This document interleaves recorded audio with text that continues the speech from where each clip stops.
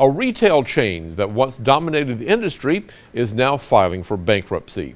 Sears filed for Chapter 11 bankruptcy protection today after it was unable to pay a $134 million debt payment. Since filing for that bankruptcy, Sears also announced the closing of an additional 46 unprofitable stores. The Gadsden Mall location will be closing by the end of this year. That leaves only one Sears store in Alabama. It's located in Hoover. President Trump says that an older generation will be saddened by this news. Somebody that is of my generation, Sears Roebuck was a big deal. So it's very sad to see. With that being said, I would imagine some of those great sites that Sears has, they really have some great sites, will be put to good use.